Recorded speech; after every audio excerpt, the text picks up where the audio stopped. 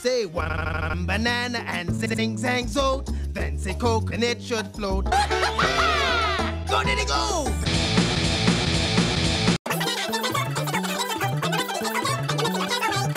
A quarter this might give it some zip.